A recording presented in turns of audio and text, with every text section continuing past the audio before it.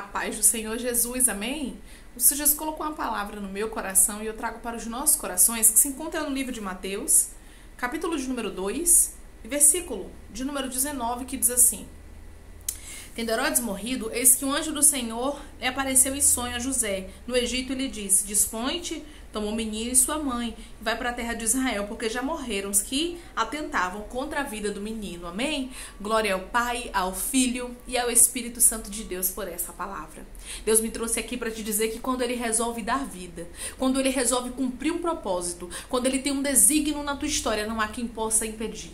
A palavra do Senhor nos diz que quando Herodes fica sabendo que o rei dos judeus nasceu, que, que o Messias, que Jesus, o Nazareno, rei dos reis, Senhor dos senhores, havia nascido, a Bíblia nos diz que ele começa a se levantar contra, aleluia, aquele menino, a se levantar contra aquele projeto de Deus. Ei, não existe ninguém que se levante, que se oponha contra o projeto de Deus, rabasto de cantarabaia, para assim ficar de pé. Se Deus tem um plano na tua vida, se Deus tem um projeto na tua história, não precisa ter medo de Herodes, porque o Senhor ele te dá o livramento e ele paralisa Herodes da forma que ele achar que ele deve paralisar, mas ele não vai deixar. Ramando quando cantarasto, ele não vai permitir que Herodes assim pare os projetos dele, que Herodes assim tenha êxito naquilo que ele está pensando em fazer. O Senhor está dizendo. Existem pessoas que estão como Herodes, arquitetando mal, planejando para tentar destruir os propósitos de Deus. Mas envergonhados e confundidos serão eles, pois o Senhor é contigo para te dar o livramento. O nosso Deus, ele livra. O nosso Deus, ele guarda. O nosso Deus, ele protege a tua vida. Ele está dizendo para você através dessa palavra: não precisa ter medo.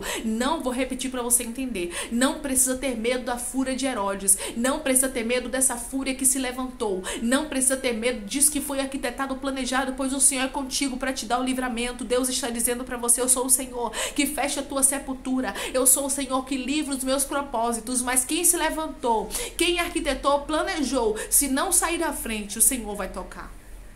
Ninguém fica na frente dos planos de Deus, irmãos, tentando impedir, servindo de pedra de tropeço. Lembra de Golias? A Bíblia diz que Golias, ele estava ali, aleluia, tentando, achando ele que ele conseguiria, né, ter vitória, tentando ter vitória contra o exército de Deus, contra o exército de Israel. E a Bíblia nos diz que o menino chamado Davi chegou ali e derrubou aquele gigante, aleluia, com a força do Senhor. O Senhor está dizendo: não é com a tua força que você derrubará esse gigante que se levantou contra você. Não é com a tua força que você vai remover essa pedra de tropeço que está no teu caminho, mas é Deus que vai tirar. É Deus que vai derrubar esse gigante. O gigante morre, aleluia. E a Bíblia diz que ele nunca mais mais afronta nem a Deus nem a ninguém. E Deus está dizendo: existem pessoas que, se não se posicionar, o Senhor vai lançar por terra. O Senhor vai lançar no chão, mas não ficará de pé diante dessa situação para tentar, aleluia, impedir os planos de Deus na tua vida ou até mesmo tentar paralisar aquilo que Deus tem na tua história.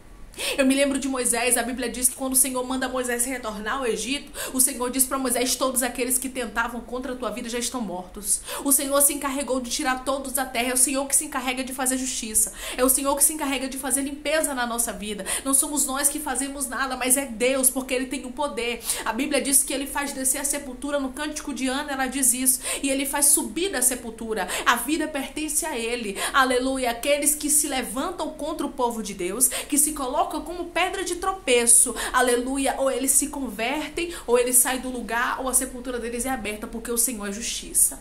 No caso de Herodes, ele não ia se arrepender. A Bíblia diz que o Senhor disse para José: Todos os que tentavam contra a vida do menino já morreram. Herodes já tinha descido a sepultura. Herodes já tinha morrido. Aleluia. Mas Deus não permitiu com que ele tocasse na vida de Jesus, nem no propósito de Deus. O Senhor está dizendo: Eu estou bloqueando. Você crê? Eu estou paralisando aqueles que queriam se levantar contra você. Eu quero que você declare comigo agora em nome de Jesus. Deus está bloqueando aqueles que se levantaram para tentar impedir os planos dele na minha vida. Eu vejo um bloqueio de Deus e o Senhor está dizendo: bloquearei da minha forma, mas eu não permitirei com que pessoas tenham êxito na maldade que estão pensando em fazer contra você. Envergonhado e confundido ficou Herodes, porque Jesus cumpriu o seu propósito. Deus está dizendo para você: envergonhado e confundido, está tá sendo essa pessoa agora que se levantou como pedra de tropeço para tentar impedir os planos de Deus. Ninguém, irmãos, luta contra Deus para ficar de pé. Estão tocando em você. Quem toca em você? Toca, nas, toca na menina dos olhos do Senhor. Que Deus te abençoe.